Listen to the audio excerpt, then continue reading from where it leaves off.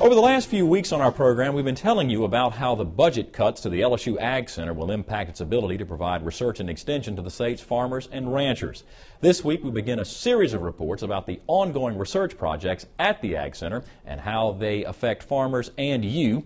This week, we take you inside LSU's plant pathology lab on the Baton Rouge campus, where for the last 30 years, researchers there have been on the front lines tackling plant diseases that, if left unchecked, could decimate the state's farming industry. So here we have a, a culture of Cercospora, the uh, fungus that causes Cercospora leaf blight, growing on an agar medium that's been supplemented with iron. For Dr. Ray Schneider, it's the little things, microscopic in fact, that can make a huge difference. That's a sample of Cercospora under his microscope. It's a disease that could, if left unchecked, wreak havoc on the state's soybean crop.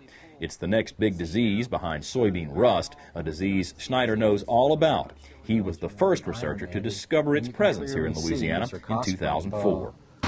For Louisiana agriculture, research is where the rubber meets the road, so to speak. Looming budget cuts of more than $16 million to the LSU Ag Center could send 211 employees out the door.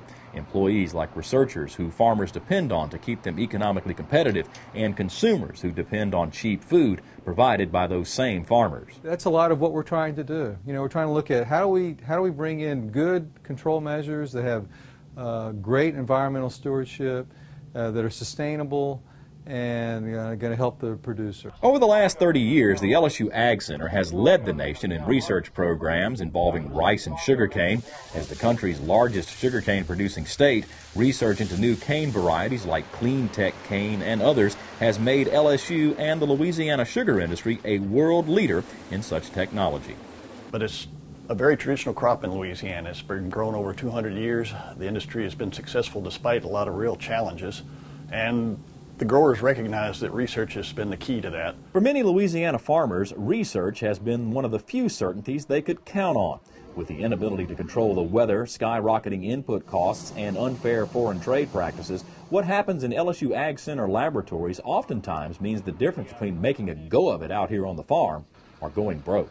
We never know where the new threat is going to come from, and um, which is why we as plant pathologists have to be prepared uh, um, in terms of our technology and in terms of our science to deal with these new issues. And those looming budget cuts won't just affect the scientists who work on campus today, they'll also affect the future crop of researchers. Student workers like Lauren Van Zant, who's helping to scan sugarcane samples, would be out of a job, a job she needs to help pay her tuition.